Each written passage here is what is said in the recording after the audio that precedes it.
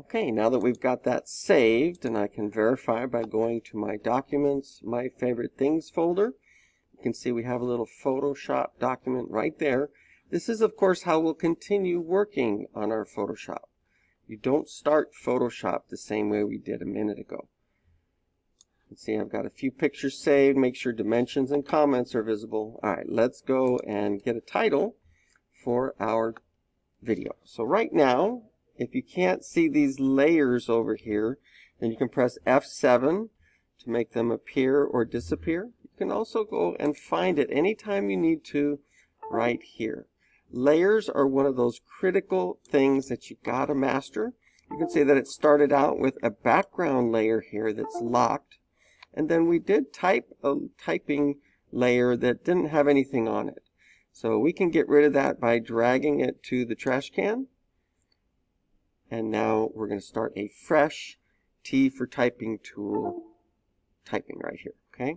So one of the things that uh, made it impossible to see before is that we had a white background and the color of the text was white.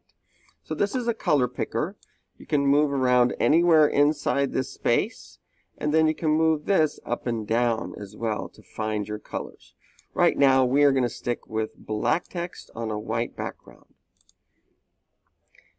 We've got the Arial font. It's set to bold, and this is the font size right here. You can also see the left justify, center, and right justify. And we are going to center our title right here.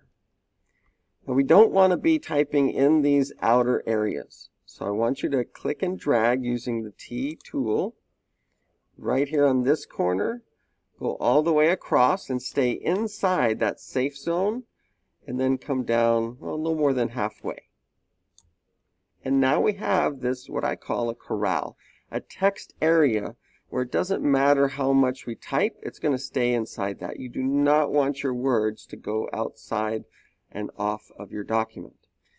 There is some text there. It is very small. If you just do the drag down like this, that drop down box, that's as big as you can get.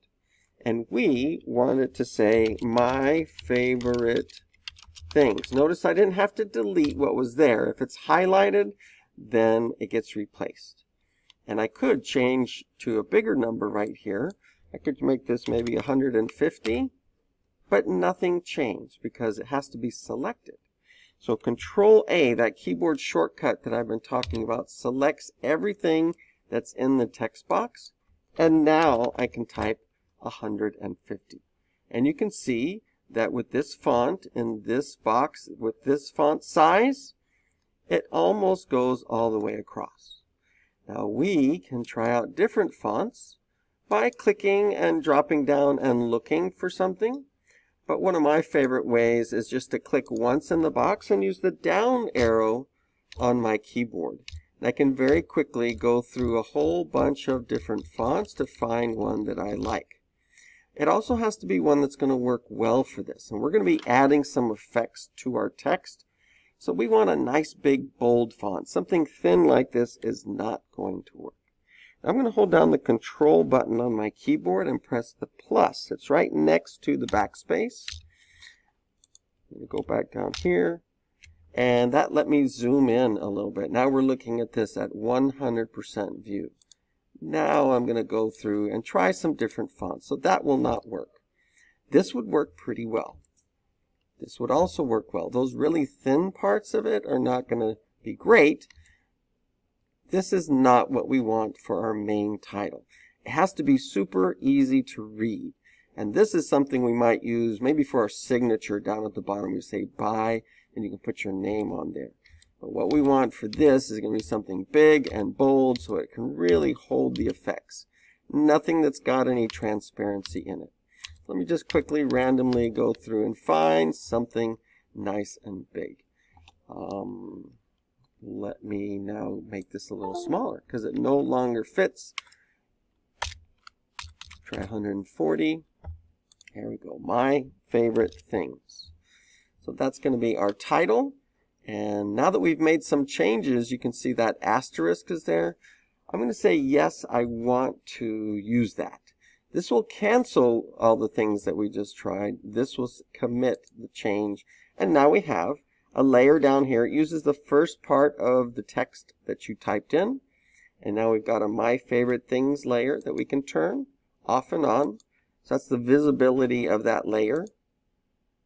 Checkerboard means transparency when you're working with Adobe. And now we have our title there at the top. I'm going to press Control with my left pinky finger. With my pointer finger, just tap that S key. You want to do that every time you accomplish something. So when you finish a layer, when you find the perfect font, save it, get rid of that little asterisk there, so that you know if the bell rings and you can just close this, you know that it was saved right here at the end.